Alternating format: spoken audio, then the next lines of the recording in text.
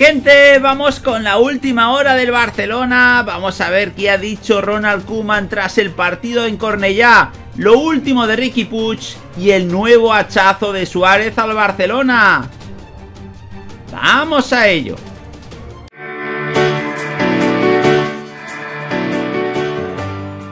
Hola de nuevo chicos, ¿cómo estáis? Bienvenidos de nuevo a otro vídeo para el canal. Vamos a analizar la última hora del Fútbol Club Barcelona. Vamos con varias noticias, por tanto te animamos a que te quedes hasta el final del vídeo, ya que nos dejes un buen like.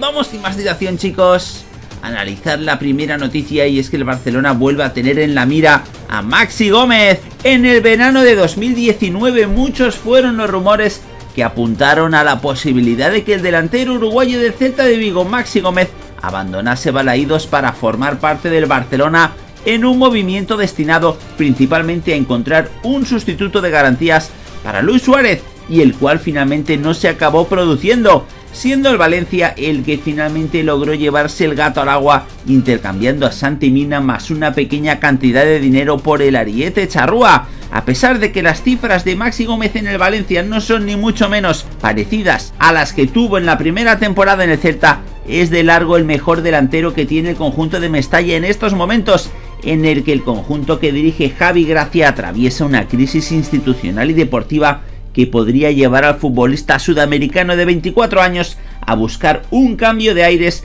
de cara a la próxima temporada, pudiendo ser el Camp Nou un lugar en el que logre dar un importante salto de calidad en su carrera deportiva, después de estar relacionado con el Atlético de Madrid durante este mercado invernal de fichajes. Maxi Gómez finalizará el presente curso con la camiseta del Valencia, tratando de ayudar al conjunto Che a evitar la zona de descenso que bordea de forma peligrosa en los últimos tiempos, pudiendo ser ese el último gran servicio que ofrezca al futbolista uruguayo a sus compañeros en el Valencia antes de poner rumbo a Barcelona, que podría lanzarse a por su fichaje en función del resultado electoral, así como de la llegada de un nuevo técnico al Camp Nou que apueste por la llegada del atacante valencianista, en el que sería sin duda uno de los grandes fichajes del Barcelona de cara a la próxima temporada. Por tanto, chicos, vuelve a sonar Maxi Gómez para el Barcelona.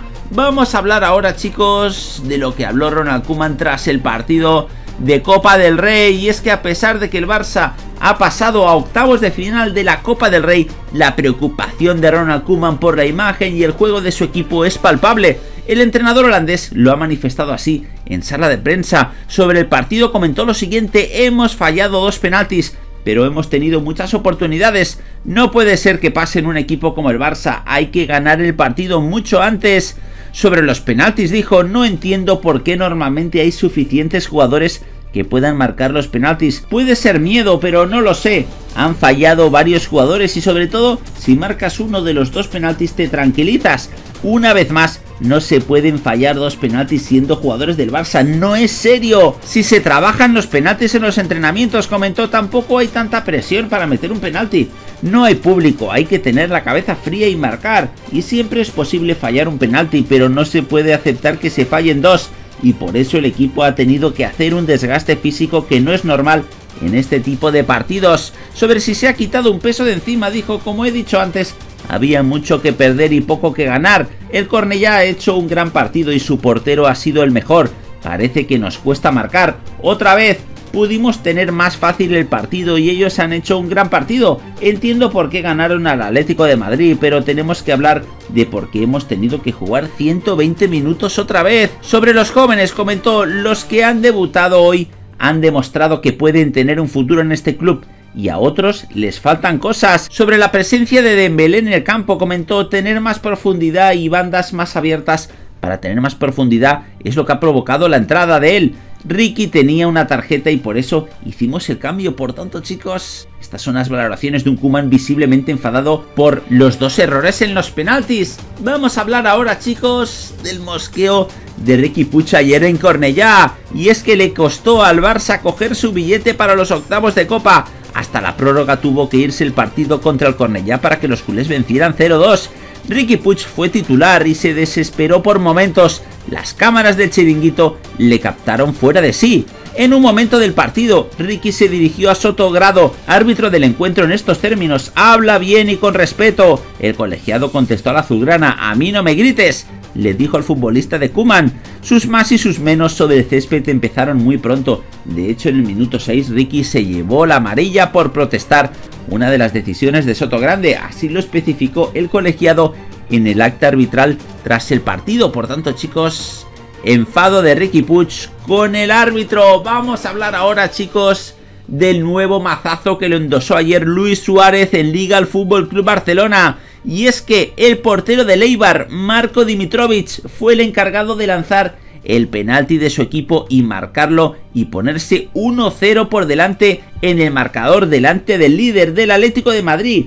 El último portero que marcó un gol de penalti en la liga fue Nacho González en el 2002. El hito ocurrió durante un partido entre el Athletic Club de Bilbao y Las Palmas. El referido penalti fue a raíz de una falta de Carrasco quien arrolló a Muto dentro del área y Melero López, árbitro del partido, pitó sin dudarlo la pena máxima a favor del equipo de Mendilíbar. Sin embargo, la alegría le duró poco a la escuadra de los armeros, ya que en el minuto 40 del primer tiempo, Luis Suárez anotó el gol del empate gracias a un error de la defensa de Eibar, lo que igualó el marcador con el 1-1. El segundo tiempo inició con un Quique García intentando buscar el empate para el Eibar sin éxito, aunque generando ocasiones de peligro claras para el Atlético. Lo propio haría a Nait Arvilla en el minuto 63 y Pedro Vigas con un remate de cabeza en el minuto 68.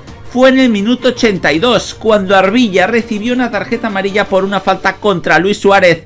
Cuando el tiro libre fue cobrado, el balón terminó con el centrocampista colchonero Yannick Carrasco, quien disparó el esférico hacia la portería de Eibar pese a que pasó por encima. La primera ocasión clara que el Atlético tuvo ya fue en el minuto 85 por parte de Joe Félix, que fue detenido por Dimitrovic.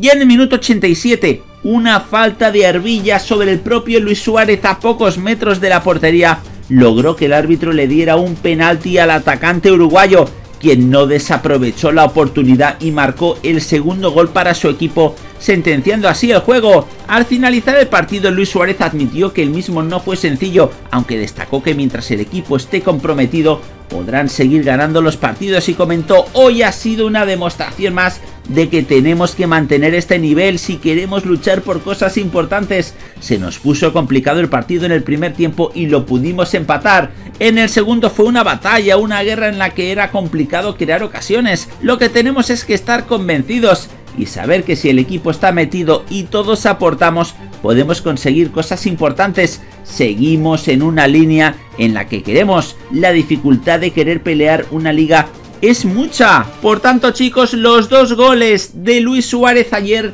lo colocan aún con más distancia en la primera posición Atlético de Madrid con 44 puntos y un partido menos. Real Madrid 37 a 7 puntos del Atlético de Madrid y un Barcelona que tras el doblete de Suárez se queda a 10 puntos de los colchoneros, como decimos, con un partido más. Por tanto, chicos, podrían ser incluso 13. Nos gustaría saber vuestra opinión al respecto de cualquiera de estas noticias y que por favor nos la dejéis en los comentarios, justo debajo de este vídeo.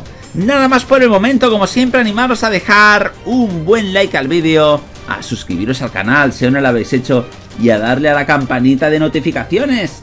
¡Hasta la próxima!